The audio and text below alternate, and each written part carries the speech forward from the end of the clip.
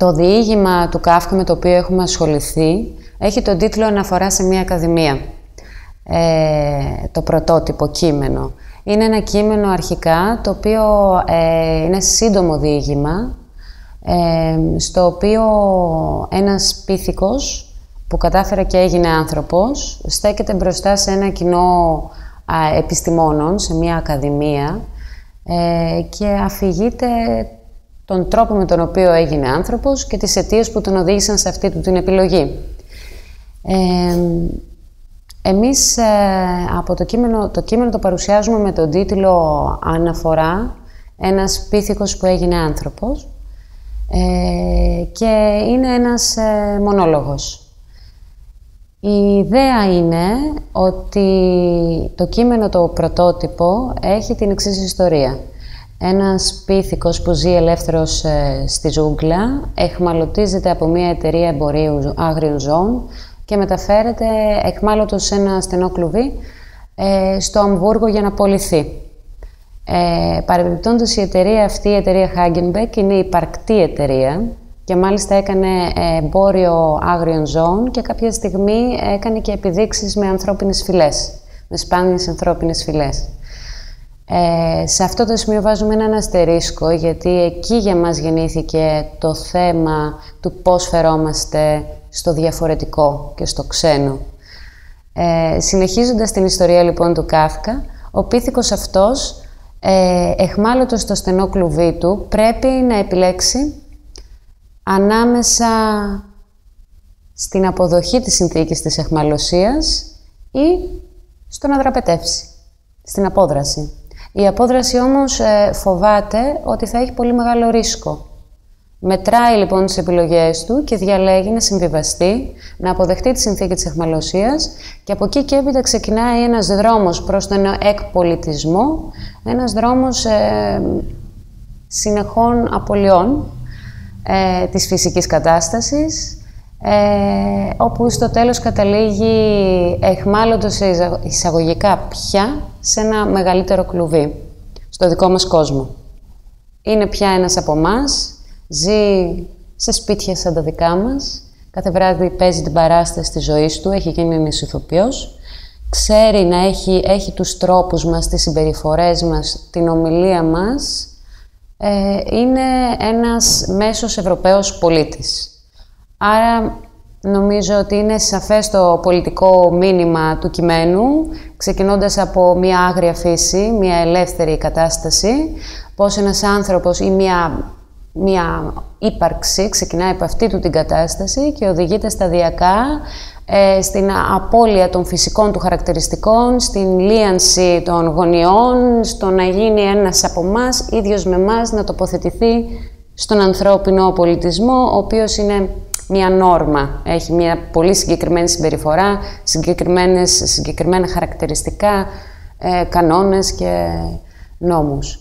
Να ρωτήσω κάτι. Ε, επειδή ξέρω ότι μέσα στην παράσταση γίνεται και διάλογος μεταξύ. Το έχει σκηνοθετήσει με τέτοιο τρόπο που ο ηθοποιός μιλάει με το κοινό. Ναι. Ε, έχω καταλάβει καλά; Ναι, ναι, ναι. Και ήθελα να ρωτήσω, επειδή το δίλημα ελευθερία ή υποταγή ε, έχει και πολλές πλευρές, δεν είναι μόνο υπαρξιακό ζήτημα. Έχει και την πλευρά την πολιτική της σημερινής Ελλάδας που πρέπει ή να υποταγεί στις θελήσεις των mm. πιστωτών mm. ή να διακινδυνεύσει πάρα πολλά πράγματα να έρχονται σε συρρήξη μαζί του. Πόσο το κοινό εκλαμβάνει για κάτι τέτοιο; Ε, το δίλημα είναι ελευθερία του Κάφκα, είναι ελευθερία ή διέξοδος.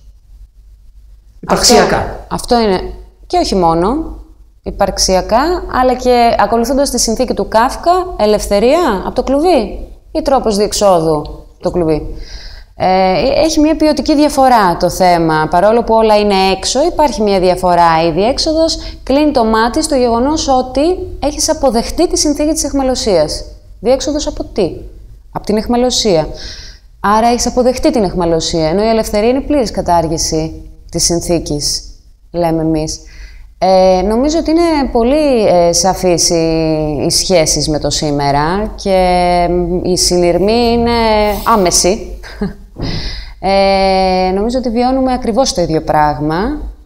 Αποδεχόμαστε την κατάσταση στην οποία μας λένε ότι είμαστε τη συνθήκη και ψάχνουμε μέσα σε αυτήν να, να βρούμε τρόπους ε, διεξόδου ή ακόμα και την ίδια την κατάσταση τη θέτουμε υπό αμφισβήτηση; Αυτό είναι το θέμα.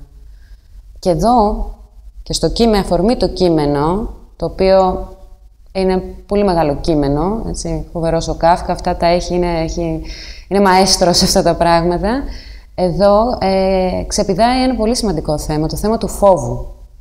Το θέμα του φόβου είναι το κύριο ανασταλτικό του ήρωα και είναι το κύριο ανασταλτικό των κοινωνιών και των ατομικά, συλλογικά. Ο φόβος δηλαδή είναι το φοβερό εργαλείο καταστολής, το ξέρουμε πια και είναι και πολύ δυνατό... Και όχι βία ο φόβος.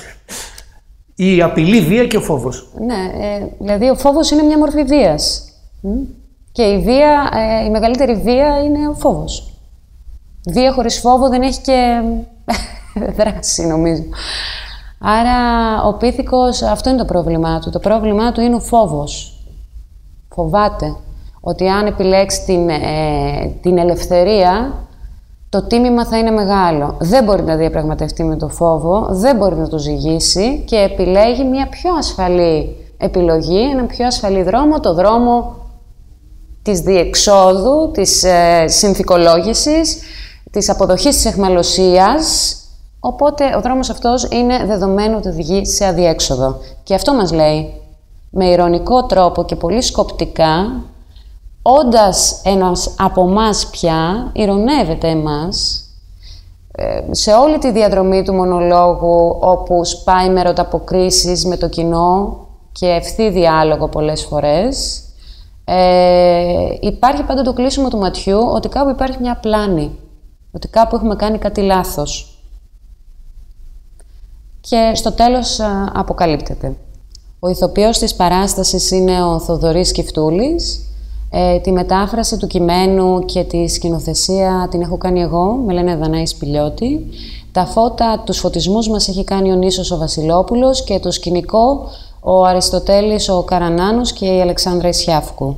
Η ομάδα μας λέγεται Ομάδα Ροσβίτα ε, και τη παράσταση παίζεται κάθε Τετάρτη, Πέμπτη, Παρασκευή, Σάββατο και Κυριακή στις 9 και 4, εκτός της Κυριακής που παίζεται στις 7 και θα είμαστε στο Θέατρο του Νέου Κόσμου έως τις 22 ε, Φεβρουαρίου. Το τηλέφωνο του θεάτρου για πληροφορίες ή κρατήσεις είναι το 210 92 12 900.